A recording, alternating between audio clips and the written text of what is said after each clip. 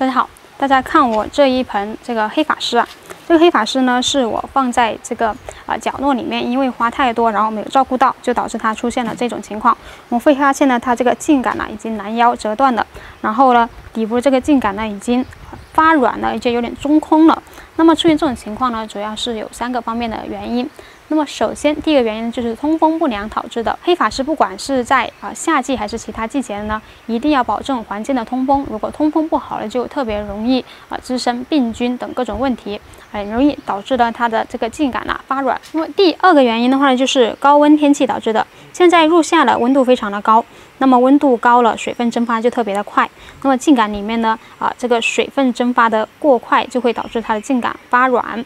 第三个原因的话呢，就是盆土啊，非常的干旱。我们会发现呢，我这个啊黑法师的盆土啊，已经非常的干了，那就是长期缺水导致的。